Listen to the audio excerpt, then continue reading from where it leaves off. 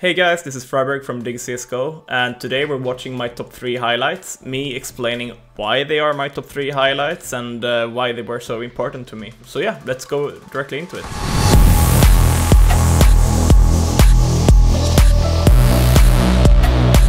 Alright, the number 3 highlight of my career so far is when I used my CZ75 against Cloud9 this was during the ESL Cologne 2014 major. This was the quarterfinal.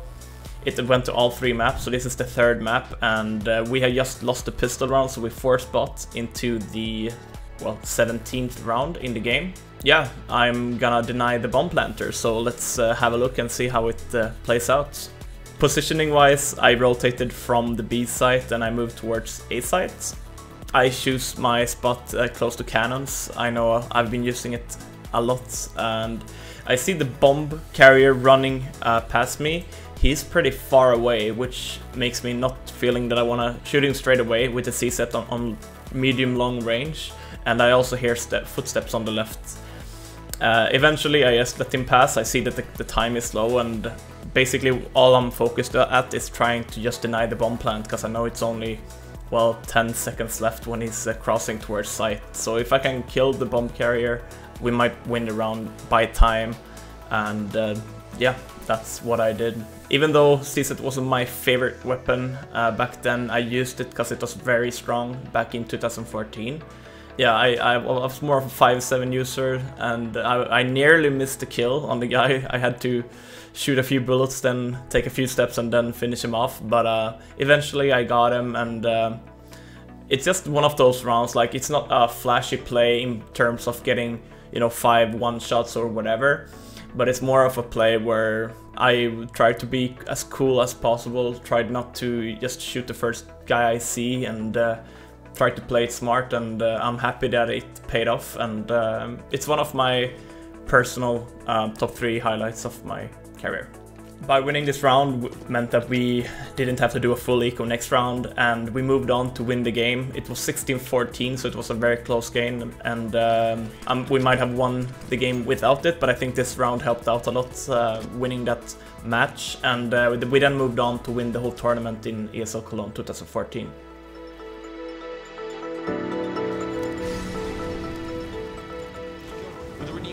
Backstab here. It's not over yet. Nothing will pick up one more, and I don't think NIP can actually seal this round. It looked so good. Just a few seconds left here. Seven, six left. Friberg goes for the kill. He's going to pick it up. If Just Xizt survives, he's going to win the round. There's no time. Oh my God, Friberg, are you kidding me? They win the round because of it. That is brilliant play by Friberg. That was that, that's Spawn 1.6 style. The next clip is my 4 kill against Hellraisers on Dust 2. This was during the uh, DreamHack Summer 2014, and uh, we had had a really strong CT side. I think we were up 11-4, and uh, we had a big lead coming into the second half as well. But then eventually they started to get rolling, and um, we had problems closing off the game. And uh, by making this play, we eventually then won the uh, match and moved on to the grand final. But the play itself, uh, it was, a, as I said, a 4 kill. I was gonna go uh, up short alone. My teammates were gonna flash me up and then B-split. So I think this represents me a lot as a player as well. I'm the guy who's being, you know, sent up to to do something, create space for my team, and uh, here I managed to do so. I get flashed up. I see the first guy behind stairs. He's fully flashed by the flashbang. The Opper missed his shot against me, and I know that I can now kill the guy behind the stairs uh, first, before the op will probably repick me, which he did, and uh, killing both, moving on, I see the third guy down CT, I get that kill, I have A site all open, now I should have asked my teammates to probably rotate towards A site and just take the site and play the round cool, but I don't know why, but eventually I just drop down CT after I get the third kill and happily or luckily I get a fourth, which pretty much seals the round. I think where he has a one on three or one on four, um, the last guy. So we, we win the round and uh, it ends up being a 16-13. The score was 15-13 when I did the play and uh, it's just a play that I think, as I said before, represents me a, lot as a player. I don't fear going somewhere alone, even though I might might face up um, against many players. And uh, I think, uh, as I said, this was one of the most successful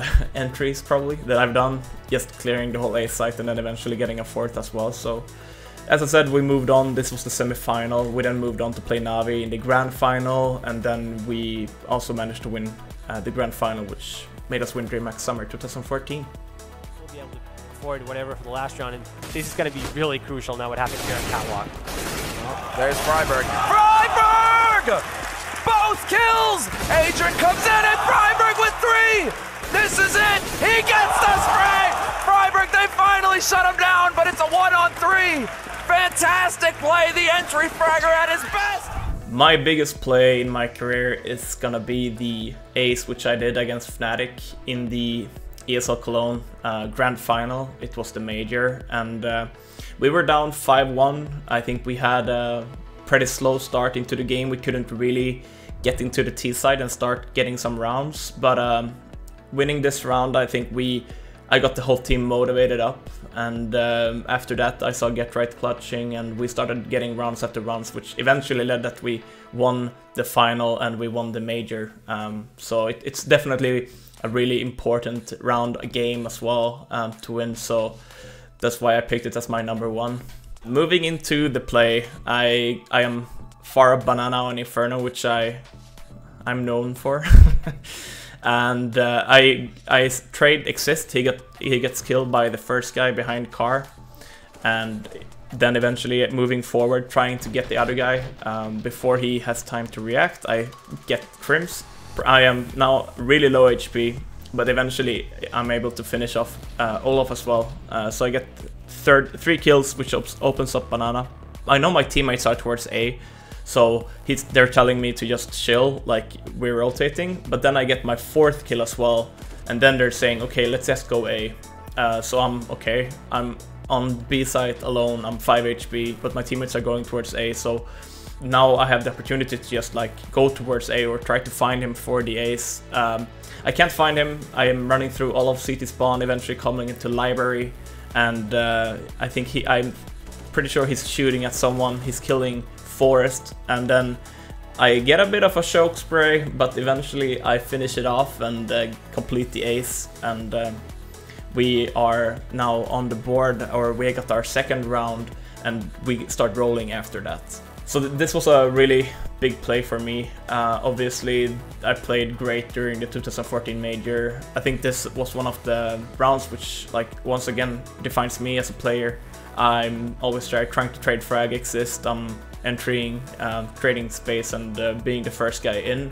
And it, it is a hard position, but uh, when you get payoffs like this, it's you see why it's really worth to to be an aggressive player and open up sites. And uh, I'm super happy that I managed to do a play like this. Um, I'm also happy that we we won a major because we we lost the previous two majors uh, in the final. So being able to to play well and um, make a play like this in a grand final. It's uh, something that I dreamed of um, ever since I, you know, was a kid and trying to be a pro in CS. So it means a lot to me, and um, I'm happy about it. Thrown by Nip to try and hold them back. Olofmeister will find the shot on Xizt. friberg does return, picks off Pronax. He's still here though, and he's going for more. Two big frags. The third man is here, however, and friberg has to back off. But friberg somehow opens it up single-handedly. All three frags, but the bomb is on the other side.